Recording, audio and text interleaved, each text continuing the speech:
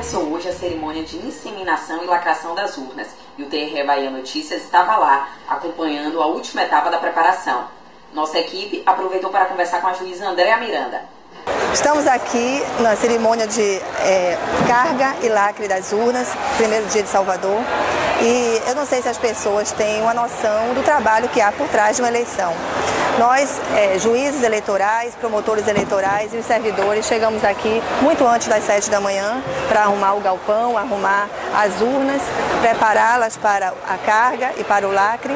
E é, temos toda a equipe trabalhando febrilmente desde então para que tudo dê certo. A previsão é que termine por volta das quatro da tarde. Maria do Socorro, chefe da segunda zona eleitoral, nos contou um pouco sobre como funciona o processo de lacração.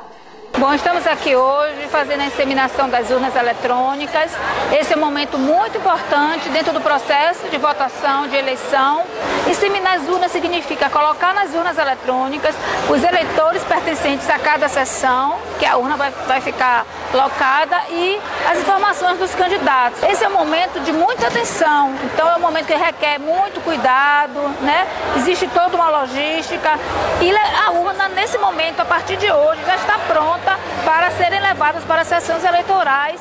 É isso aí, o TRE Bahia trabalhando duro nessas eleições. Continue prestigiando nosso conteúdo no YouTube, Facebook e Twitter. Esta edição do TRE Notícias fica por aqui. Até a próxima.